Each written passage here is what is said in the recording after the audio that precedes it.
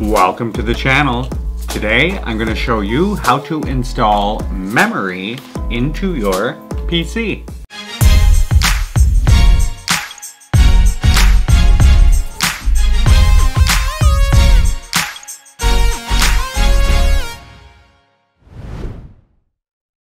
So if you're new to the channel, my name's Travis and I love to film unboxing videos of cool new gear that I get for filmmaking and photography.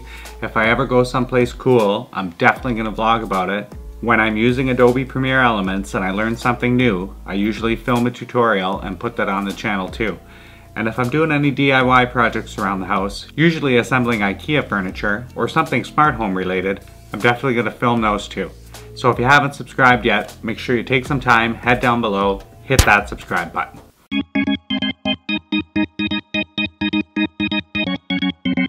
So if you're a long-time subscriber to the channel, you might remember the video on when I built this PC. If you don't and you want to see it, I'll put a link up here for that.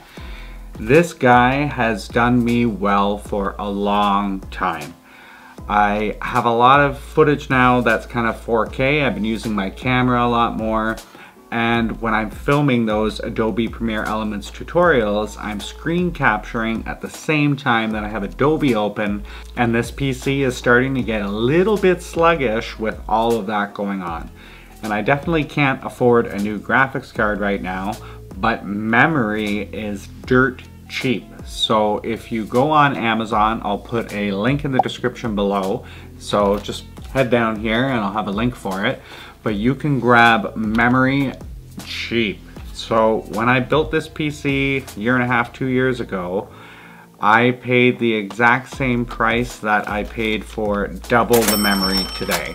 So in other words, it's half price within two years for double the memory. So I have a 16 gigabytes in there now. I'm upgrading to 32 gigabytes and I paid the same price for the 32 gigabyte DIMMs that I paid for the 16 gigabyte DIMMs.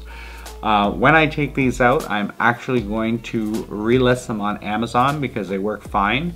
Uh, so hopefully I will get some of the money back for the memory that's in there to go towards this new memory here, which is cheap link in the description below if you want to grab some of the stuff.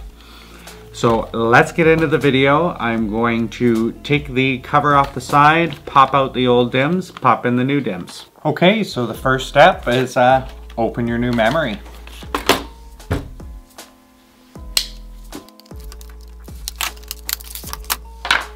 Well, that was easy. Second step is to open up your PC case. So we have our screws on the side, got those undone. Slide this over and pop the cover off. Your PC case might be a little bit differently, but all you gotta do is get inside to the motherboard. So the next step is to locate where your RAM is, and in our case, it's right here. So these are the other two DIMMs that we had. So we're just gonna take our new RAM, put it inside here, get it ready. And to pop these out, it's really easy. On each side, there is a clip. So we're just gonna push down on the clip on one side, push down on the clip on the other side, and that memory is released. So we're gonna take this DIMM here and pop out this guy here and put this in like so. And place this one back inside. Okay, and once you're sure that it's completely lined up, you're just gonna slowly press down and you'll hear a click. Click on one side and clicked on the other side. So there we have it. That's one replaced. Now we're gonna pop out our second DIMM.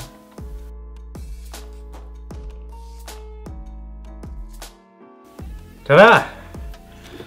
So in only a few minutes time and not using any tools, I was easily able to upgrade the memory in my custom built PC, literally double the memory and pay the exact same price that I paid for it a few years ago. So Ultimately, if you're going to build a computer, It's great because you can keep on top of the upgrades and as you want to add more, if I want to add a new graphics card, I can do that. So if you learned something from this video, make sure you head down below, hit that like button. It actually makes a difference. And if you want to see more videos like this one, smash that subscribe button. And until next time, take it easy out there.